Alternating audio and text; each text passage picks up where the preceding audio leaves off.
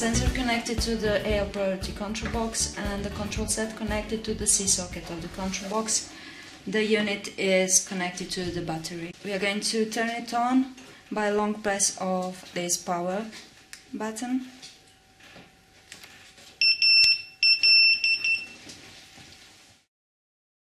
The sensor is detecting an obstacle, so the parking detection is on. It blinks green, uh, saying I'm in parking mode. You can change options of the system online with the USB key, but you can also change it manually by entering the menu with the long press of the menu button. When it turns yellow, you are inside the menu. Plug in the USB drive,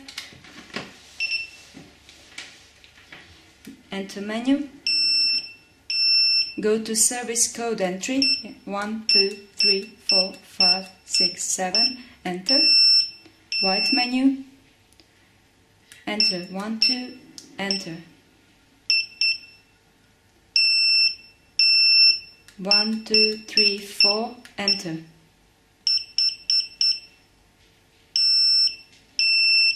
One, two, three, four, five, six, enter.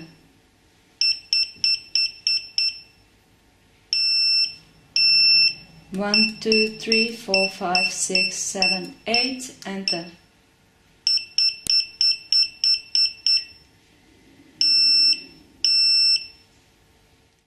It's already blinking blue meaning I'm ready to defend from laser sources. If you unplug the USB drive it will be parking only. We will shut it off. Unplug the USB drive, power it on.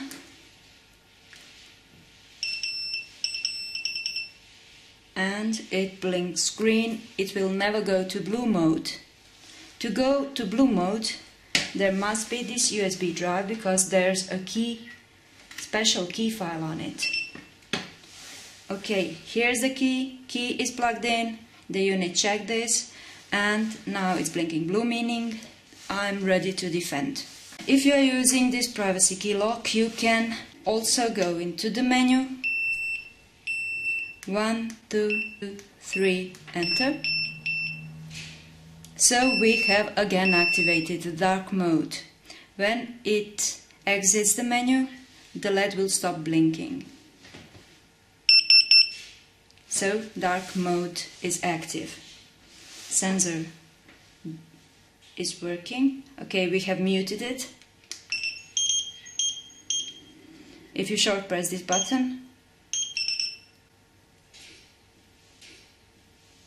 it, it's muted, short press it again.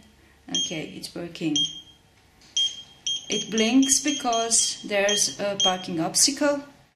If there is no parking obstacle there, it doesn't blink because it's in dark mode. You, we will shut it down. Then again we can power it on.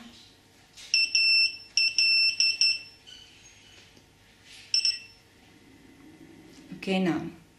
The unit will stop blinking after 10 seconds because dark mode is active.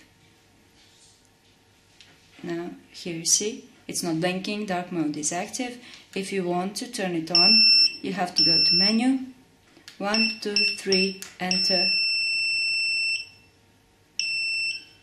It will exit menu and, and it will continue to blink.